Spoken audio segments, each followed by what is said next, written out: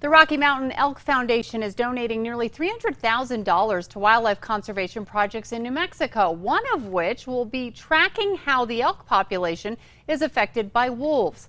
Researchers have placed 400 GPS collars on cow elk and plan to capture and tag 200 calves, mostly in Catron County.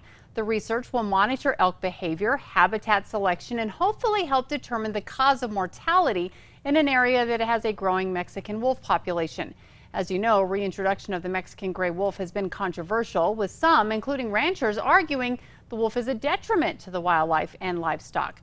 Recently, environmentalists asked that a cap on the number of Mexican gray wolves in the wild be lifted.